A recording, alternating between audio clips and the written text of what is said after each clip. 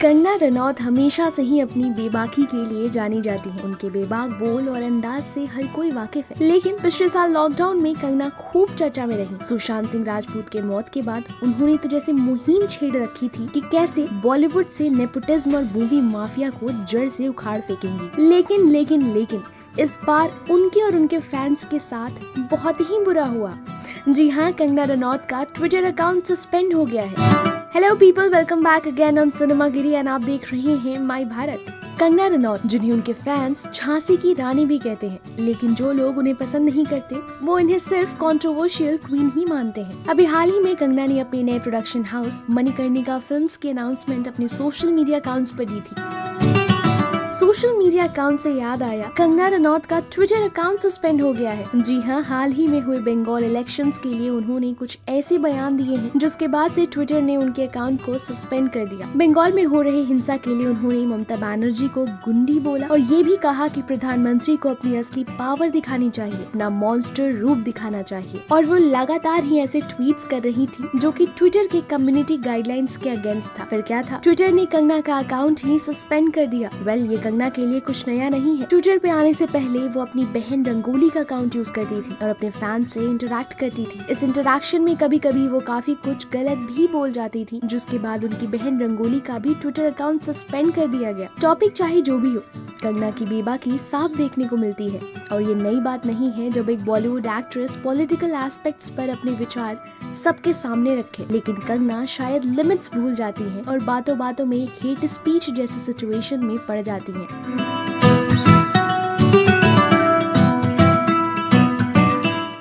Bollywood actress जैसे स्वरा भास्कर इस suspension को काफ़ी इंजॉय कर रही हैं। और तो और ट्विटर पर कंगना भले ना हो, लेकिन अब भी ट्विटर पर उनका नाम खूब ट्रेंड कर रहा है। कुछ लोग उनके सपोर्ट में बोल रहे हैं तो कुछ अगेंस्ट इस पूरे इंसिडेंट के बाद उनका एक और वीडियो सामने आया है, जिसमें वो काफ़ी रो रही हैं, लेकिन अपने ट्विटर अकाउंट के लिए नहीं, बल्कि बंगाल में हो रहे हिंसा के लिए। आइए सुनाते हैं आपको कि उन्होंने क्या कहा।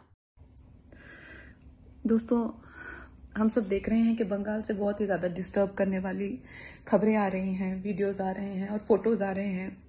ओपनली लोगों के मर्डर्स हो रहे हैं गैंग रेप हो रहे हैं और घरों को जलाया जा रहा है।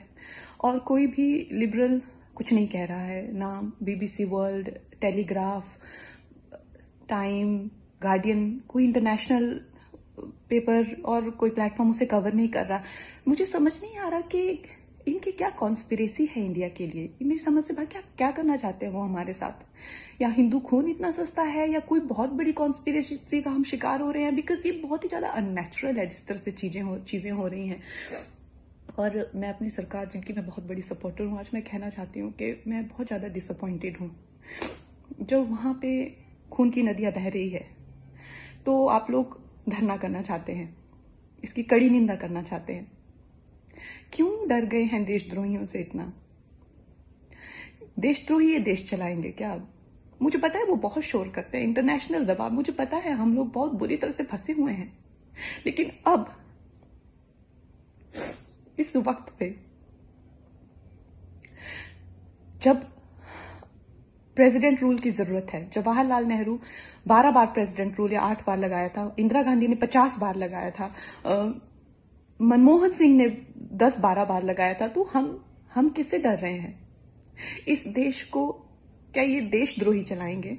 और मासूमों की हत्या होगी और हम सिर्फ़ धरना देंगे? मैं अपनी सरकार को कहना चाहूँगी कि प्लीज़ जल्दी से जल्दी ये जेनोसाइड रोकिए और खड़ा से कड़ा कदम लीजिए।